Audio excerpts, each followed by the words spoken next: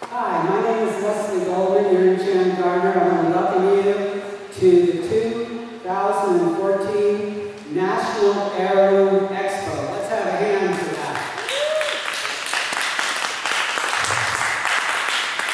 I just want to acknowledge the journey that it took for all of us to get here.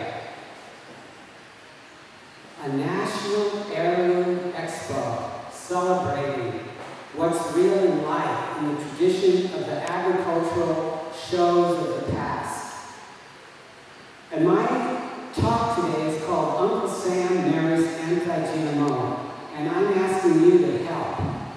This happens to be uh, a Baker Creek calendar for 2014, and I was just looking at the invitation. It says, you're invited to Uncle Sam Marries Anti-GMO.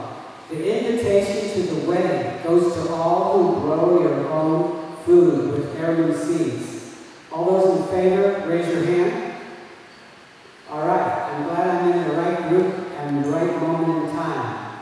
Now, one thing that I'm going to share in this class, this information is not just for you. This is for all the kids you're going to be running into in your life. This is for your neighbors. I'm going to give you some tools to help Uncle Sam marry anti-GMO. What do I mean by that? Well, Uncle Sam is a representation of the U.S. government. Anti-GMO, as I play with the world, words, is his wife, Anti, as well as anti-ANTI, the anti-GMO movement. And what I've discovered is that the wedding day when Uncle Sam marries anti-GMO is in our hands. The date on the calendar depends on each of us getting engaged in growing some of our own food. It's not only the right to know, but it's the know-how of how to grow some of your own food.